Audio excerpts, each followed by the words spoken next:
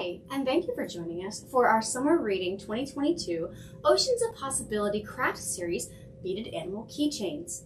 This year we are featuring three sea creatures. We're going to have a shark, a turtle, and a fish. Each one of these kits will be available. Um, supplies are limited, but while supplies last, you'll get a kit that's at Centre Branch that you can go ahead and grab. Uh, it'll each come with instructions, and each one's going to have instructions for the individual craft. So you'll have the fish instructions on this one. Uh, and then it'll also come with a small bag of supplies. Each bag will have some cord and a variety of colored beads that you can use. And each of the instructions will tell you if there's a particular pattern you need to put the beads in. So these are of course going to be available starting on Tuesday, June 21st. And and as like I said, supplies are limited. Just as an aside, um, I'll probably mention this in every one of the tutorial videos. However, the one thing I will say you definitely need for this craft from home is going to be a plastic bowl because pouring these beads in a plastic bowl is going to save you from having to chase the beads around your house.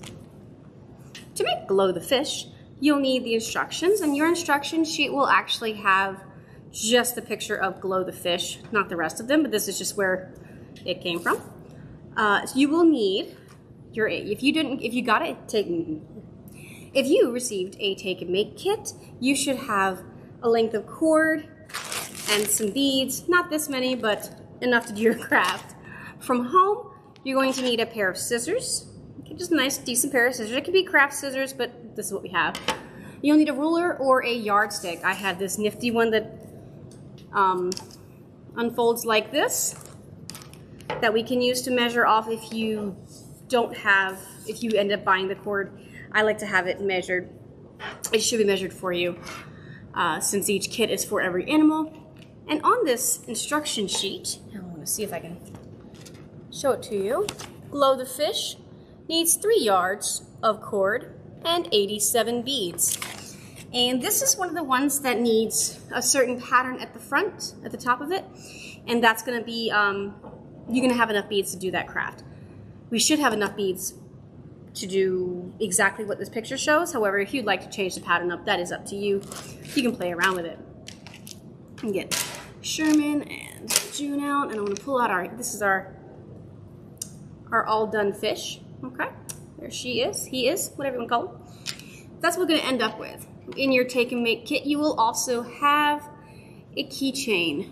This is just a little clippy clip. You can use a ring keychain if you have one around the house. That's fine too. But so first we're going to do is, uh, in case, we're gonna measure out, and like I said, if you got a take and make kit, you should have uh, this already done.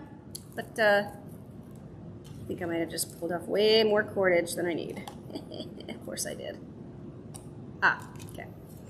We need three yards of cord. So if you have a ruler, that's nine feet. If you have a yardstick, that's three yards. Um, again, if you got a take and make kit, you probably already have three yards exactly, but you know, it doesn't hurt to check and make sure. I find with all of these projects, um, all these projects, the they always give you or recommend way more cord than you actually need. So you may need, they, they say you need three yards, but then you end up only really needing like two and a half. And I think that that's just in case people bead tightly or just so you have enough to thread through. And then, well, I guess I didn't pull off too much. and that's three. So once we have about three yards, and again, this doesn't have to be exact, but close to, three yards of cord, wrap this back up, get back in there. I'm going to show you a little pro tip that I use when I'm working on my projects. It makes things go a lot more smoothly. So first things first, we're going to find the ends, and you're going to just pull these through your fingers until you find the end. That's a, uh, we go. Put them together, you don't have to make them exact, but you know, kind of close and then simply pull the string, the, the cord through your hands until you get to the looped end. It's gonna look like that. When you find the looped end, you're going to do what they call, I guess, a slip knot, or I'm not sure what kind of knot you'd call it, but you basically, the easy way to do it is put it through the keychain like this, pull it enough so you can get two fingers in, and then just pull the loose ends through, being careful not to shift them too much. Make sure your ends are still relatively even. And, you know, they got a little uneven, but that's close enough. That's fine. Because like I said, they always give you a little extra. So you want to just snug that tight and make sure it's nice and tight on the keychain. Okay. And here's where my little hack comes in. You can do one of two things, a couple things. Um, you can either put a piece of string and tie it on a doorknob. You can tie it on a bedpost. You can even loop it around your toe if you are that brave. Um, what I've done is actually I get a piece of duct tape or packing tape and always ask a grown-up before putting tape on any furniture.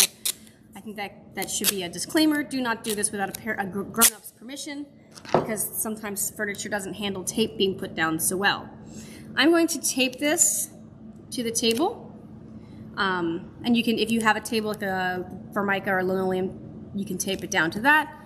This will keep this in place so that you can tug on it a little bit. I mean, you, you shouldn't be, you don't want to tug on it too hard. You'll end up pulling it off. But this should keep it in so that you can have enough tension and have your hands free. Again, you can hang it from a doorknob if you put a piece of string on top of it, just a loop.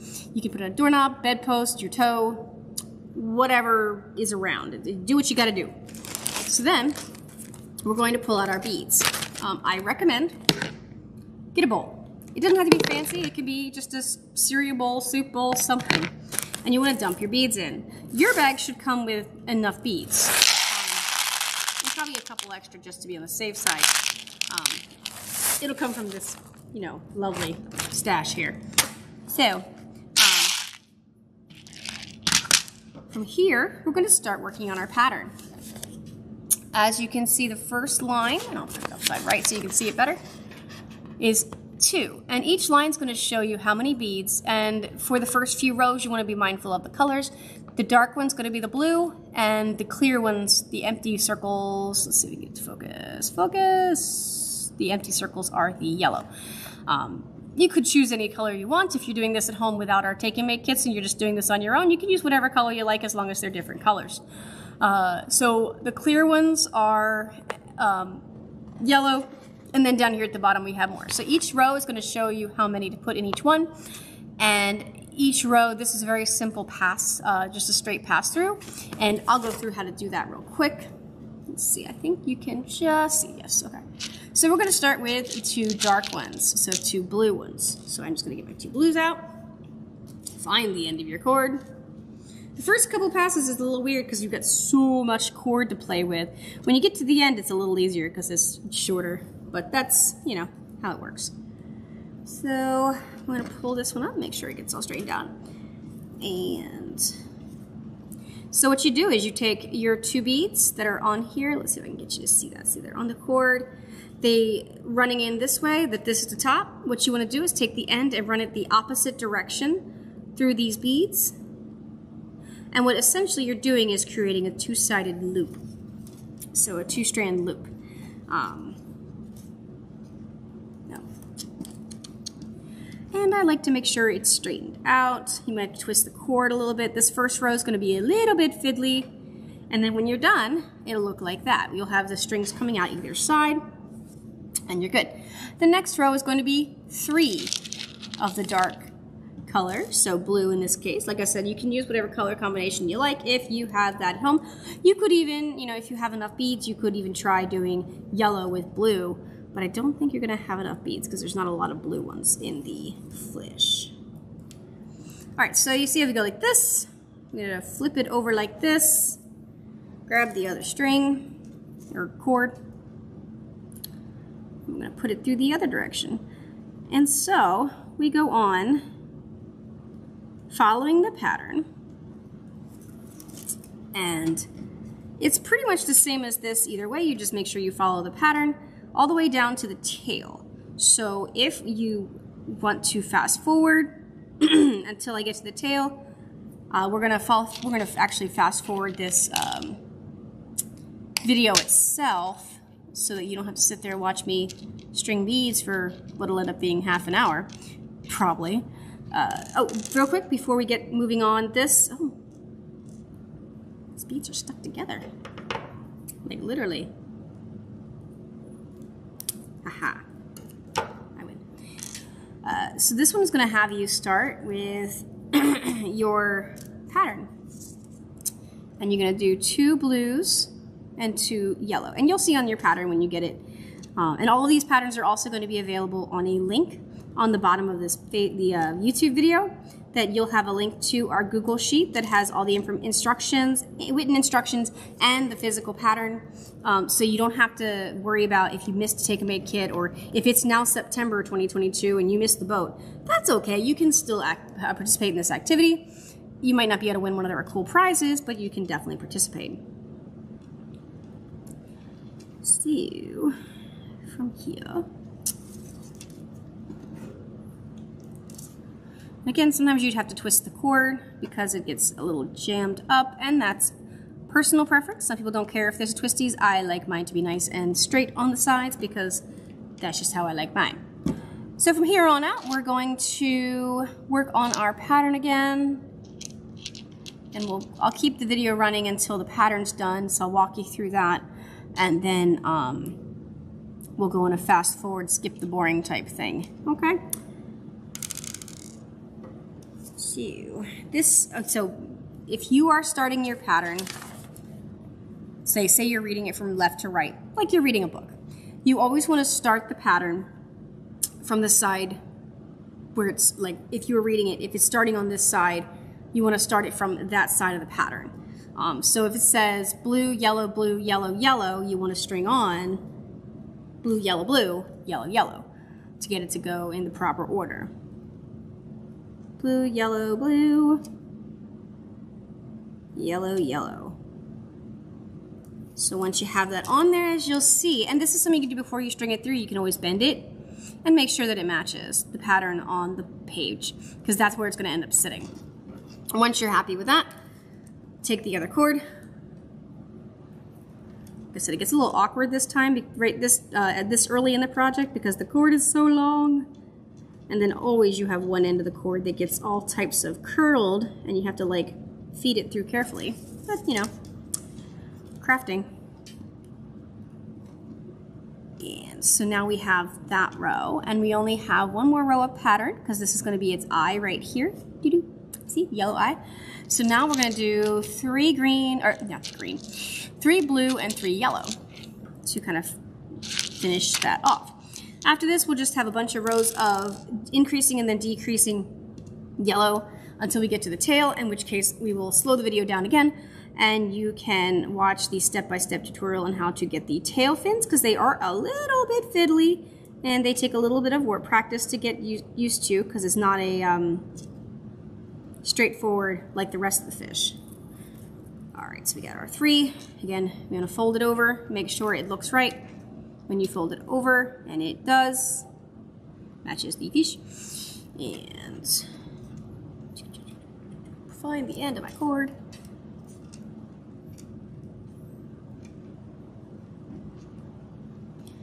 And if you get really confident, you can feed it through all the beads at once. Sometimes it works, sometimes it doesn't, and that's okay. From here on out, we're going to do just straight, uh, you'll have uh, rows of beads. It's going to start with a six row and then a seven, back down to six, five, four, three, two, two, three, four, and then we'll start with our um, tail. If when you have your copy at home, you can you want to write, you know, count them ahead of time and write next to each row instead of having to count each time, that is totally up to you, and I think that's a great idea actually. Um, only reason I didn't do that on this one is because it had to be photocopied and put onto the document. So, uh, yeah. So let's get going. We're just going to fast forward through and do all of the increase rows and the decrease rows so that we can get to the tail. And again, you can do any pattern you like. From here on out, this is, you know, your, this is your party. You can do whatever kind of pattern you like. The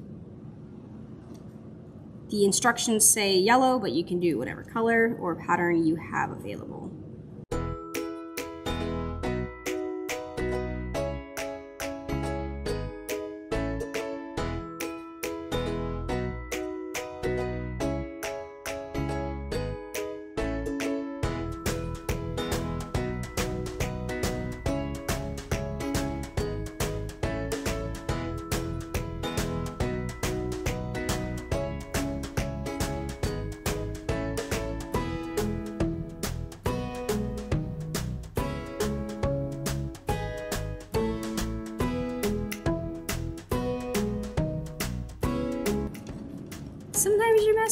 And you gotta take a bead off, and that's okay.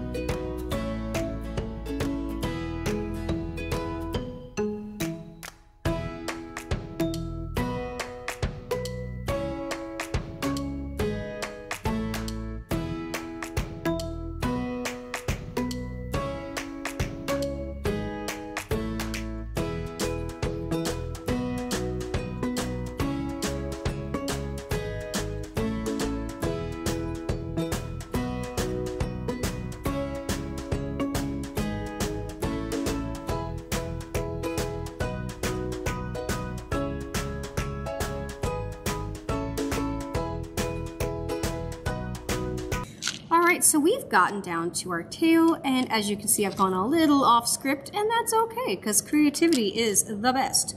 And you'll probably have an extra couple of blue ones in there that you can do.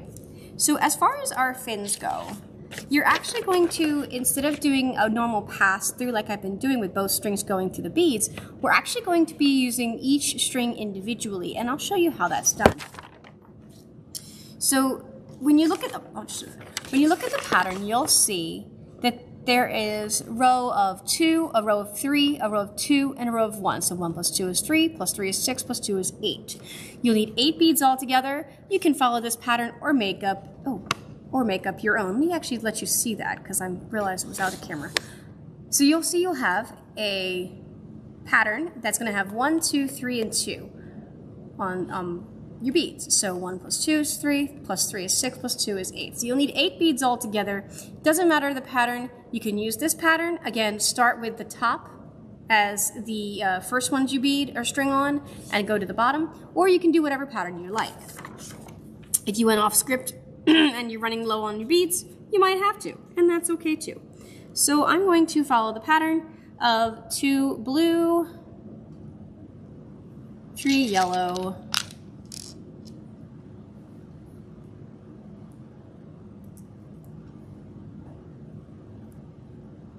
two blue and then one blue, so three blue next. Ah, come back, come back. Just trying to run away. Okay, so once you get to this point, you're gonna start from the very tip. You're going to fold it under the single bead under the two, because remember that's one and then two give yourself a little bit of wiggle room. Don't be, don't make, let the beads get super tight. You want to have some play because when you fold it, you're going to have some extra beading or cordage on the side. So you want to make sure you have enough space for that. You can always tighten it up later if you have to. So now that we have this around, this other string, the other side, is going to act like the other string when you're doing your normal beading.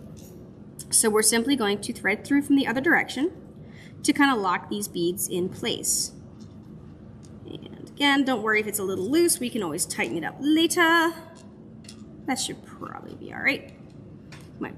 So then we're going to do the same thing. We're going to fold it back up. Like just kind of doop, doop, doop, doop, doop. Um, fold it up like this and lay it like this. Okay. I'm to do this, these beads against these beads. And again, come in from the other side because you'll see the strings coming out this direction anyway, so we can just loop it through. And like I said, it's just like you're doing your normal pass-through, except instead of using a second string, you're using the same one and just kind of figure eighting it back. Figure eight configuration, if that helps. So I've got to the other side. And when you pull it snug, it should be like that. See? So now I'm going to do this one more time to a two.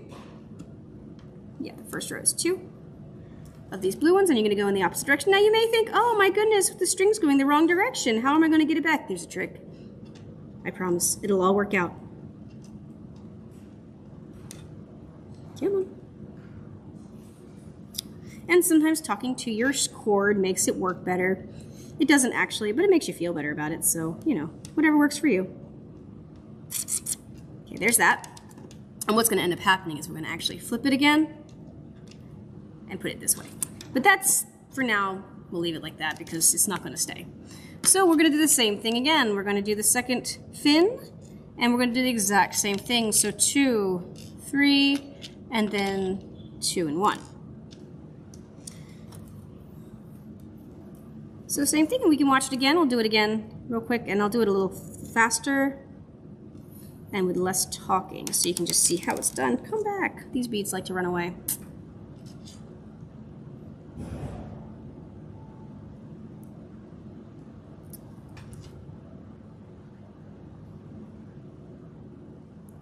Yeah, don't forget you're to start whatever beads you want in this closest row you do first.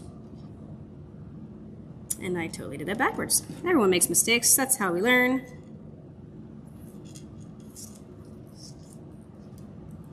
Okay, so two. It's going to rethread this. I totally did it backwards. And so you got to be careful. And double check, because everyone makes mistakes. And your fish fin would look awful weird if you put it on backwards. Not wrong, just if it's different than the other one, it can look a little off. Again, give yourself some space. And we're to do our folding and our stringing.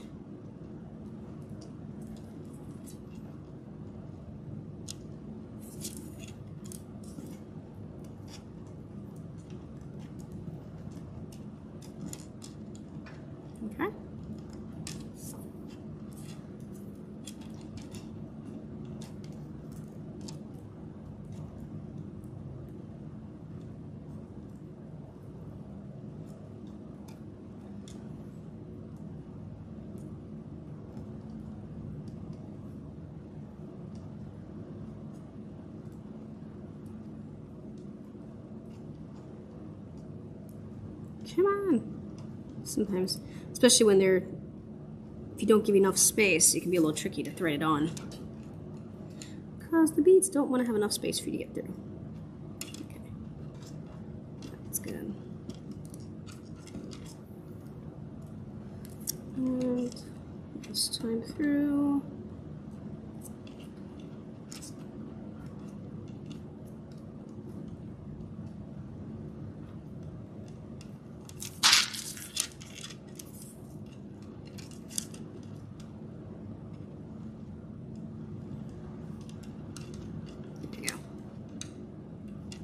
All right, so now we have our two fins and we're just going to flip them this way. And then we're gonna take one more bead to kind of tie them together. Put it on one side, and then we're gonna do a normal pass through just like we do with all the other rows. And run this cord through here. All right, and this will pull these fins in tight. And then all you do is do a double knot I usually do a double knot anyway. Um, to secure it, I usually do two. And as you can see, there's plenty of string left over. So, like I said, don't, don't stress out if you don't have it even, or if you know you only have two and a half yards. You should be fine. Go ahead and trim it off with a little bit of distance, a little bit of maybe half an inch to an inch of string at the bottom, just so it doesn't come unraveled A couple options you have. Uh, you can either have uh, some good craft glue and put a dot here just to kind of hold that knot in place. Usually it stays fine, but just in case you want extra security, if you're having it in your backpack and you, you know it's going to be shifting around a lot, a little bit of glue. If you have a grown-up or if a grown-up trusts you with a hot glue gun, hot glue works really well as well. It's going to hold it a little better. Um, that, of course, is up to you. Let's uh, free our glow the fish from his restraints pull off the duct tape. And here we go. We are all done with our Glow the Fish beaded keychain pal. I hope you have fun making your beaded keychain pal. Whether you made Glow the fish with his little eyeball, or you made Shell the turtle, the sea turtle, or if you made Sherman the shark with his awful funky dorsal fin. This one was a really fun one, but it is a little bit tricky, so hopefully you did find and that video was very instructive and helpful for you. I do hope you have fun, and you did a great job. So before we go, I want to go over the summer reading prizes that you can earn by participating in our 2022 summer reading program. The kids have uh, some prizes. We have a stuffed fish, a stuffed sea turtle, a stuffed octopus, an orca whale, and a penguin. And all these come with a corresponding book.